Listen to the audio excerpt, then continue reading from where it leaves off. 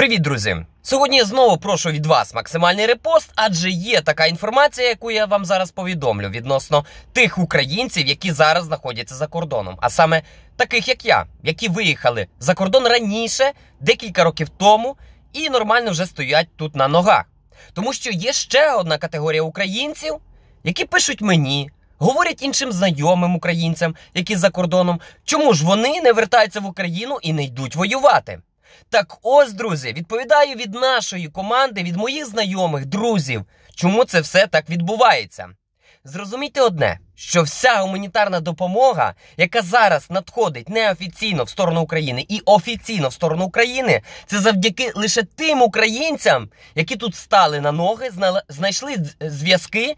Підганяють поляків, просять поляків, і поляки нам допомагають, і німці, і всі європейці, і навіть з Америки вчора мені телефонували і теж готові допомагати. І це українці телефонували, не якісь там громадяни США.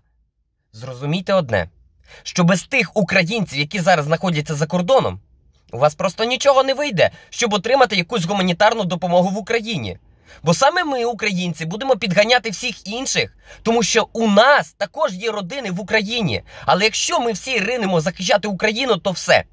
Ніхто не буде допомагати гуманітарною допомогою в Україні.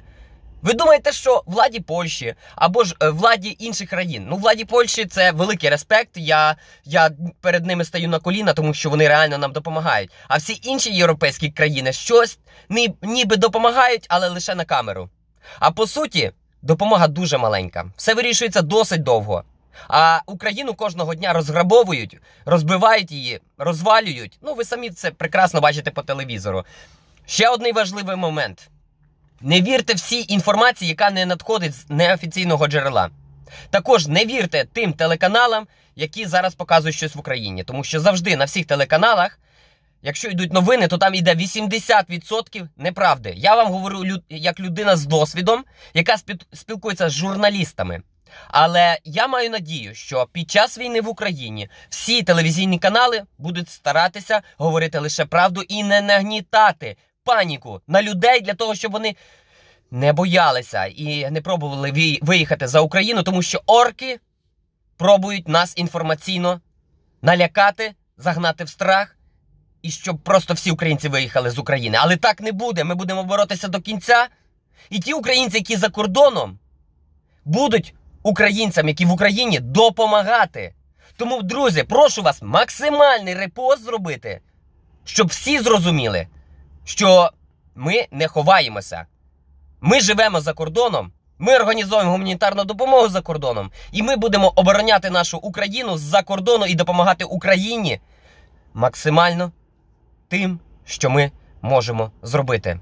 Тому що ми тратимо свій час, свої гроші. Я б міг зараз працювати десь на роботі і заробляти гроші. Так само кожен волонтер, який цим зараз займається. Але ми робимо Наступне, що відправляємо гуманітарну допомогу. Ви це можете побачити в мене в телеграм-каналі, в Viber-групі я публікую це. Також є в описі до відео посилання на нашу інстаграм-сторінку, де ми все показуємо, хто до нас приїжджає, що від'їжджає і тому подібне.